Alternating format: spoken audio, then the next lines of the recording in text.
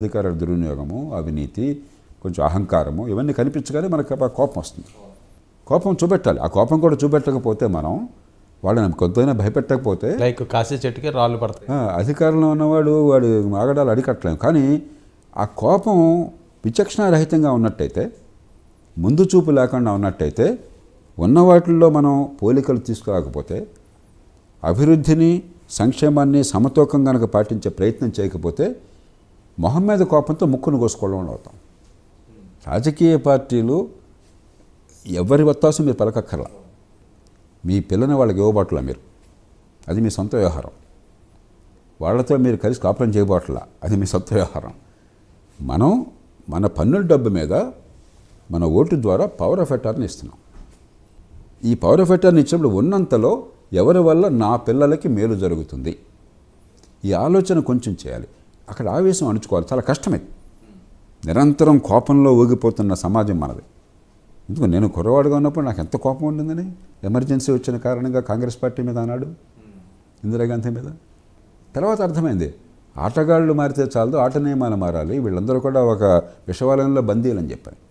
కాబట్టి వ్యక్తిగతమైన కోపము ఓ పార్టీ మీద కోపం కాకుండా కాస్తంత మన జీవితాలు మన ఉమ్మడి జీవనాలు వ్యవస్థ. దానికి ఉన్నంతలో పరిష్కారం ఏమిటి? రెండోది ఇది అయిన తర్వాత వాళ్ళ మెడలో ఉంచి మరింత మంచి సాధించేట్టు చేయడం అట్లాగా ఇప్పుడు టీఆర్ఎస్ఏ మళ్ళీ వచ్చారనుకోండి చట్టబద్ధ పాలన ఎందుకు లేదు? బడితున్నాడు బెరెందుకు అవుతుంది మనం గట్టిగా నిలబడాలి? అది చేయించాలా? ఎందుకని మంచి విద్యా ప్రమాణం అందట్లేదు ఉచితంగా ఇస్తున్నాం. వేల కోట్లు ఖర్చు పెడుతున్నారు ఇరవై మూడు వేల కోట్ల రూపాయలు తెలంగాణలో విద్య కోసం ఖర్చు పెడుతున్నారు.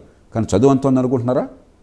నూటికి యాభై మంది పిల్లలకి గ్రామీణ ప్రాంతాల్లో పదిహేనేళ్ళ వయసులో గడియారం చూస్తే టైం చెప్పడం రాదు. ఏం చదువు అది? ఏ పార్టీ వచ్చినా మనం గట్టి నిలబడాలి. అవి సాధించుకోవాలి. మనం ఓటు వేసామని చెప్పంటే బానిసలం కాదు. కానీ ఓటు వేసేప్పుడు ఉన్నటువంటి ఆప్షన్స్లో సమతూకాన్ని ఎవరు పాటిస్తున్నారు? ఎవరి విధానాలు కొనసాగించినట్టయితే లేక పాటించినట్టయితే మన పిల్లల భవిష్యత్తుకి మరింత మంచి పునాది ఏర్పడుతుంది. ఇది ఆలోచన చేయకపోతే మన కోపం మనకు శత్రువు అవుతుంది. మనం మొహం మీద కోపంతో ముక్కును కోసుకున్న వాళ్ళు అవుతాం. సార్ కేటీఆర్ గారితో మొన్న మీరు సుదీర్ఘంగా ఇంటర్వ్యూ చేశారు. సో ఆయన విజన్ కానీ ఆయన ఏంటంటే చాలా ఉన్నత విద్యలో చదువుకున్న వ్యక్తి కేటీఆర్ గారు. ఎలా అనిపించింది సార్ మీకు ఆయనతోటి మన దేశం అదృష్టం ఏంటంటే పాతకాలంలోనేమో పంతొమ్మిది వందల డెబ్భై ఎనభై దాకా ఒక పిచ్చి కుహనా సోషలిజం. అంటే పేద ప్రజలకి విద్యా ఆరోగ్యాన్ని మంచి ప్రమాణాలతో అందించకుండా ఊరికే సమానత్వం అన్న భాష మాట్లాడి పేదరికాన్ని కొనసాగించే సోషలిజం. ప్రభుత్వ గుత్తాధిపత్యాన్ని కొనసాగించి అంతా ప్రభుత్వం చేతుల్లో పెట్టి ఒక లైసెన్స్ పర్మిట్ కోటా రాజ్యాన్ని పెట్టి దేశాన్ని నాశనం చేసినటువంటి విధానం.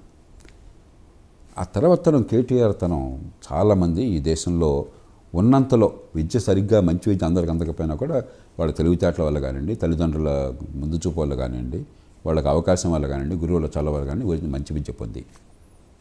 ప్రపంచ నలుమూలలకు వెళ్ళి ఆత్మవిశ్వాసంతో ఆత్మగౌరవంతో నిలబడి ఎవరికి తల ఉంచకుండా అక్కడి నుంచి బోడంత పరిజ్ఞానాన్ని అనుభవాన్ని సంపాదించి వాళ్ళు చేసే పద్ధతులను రంగరించి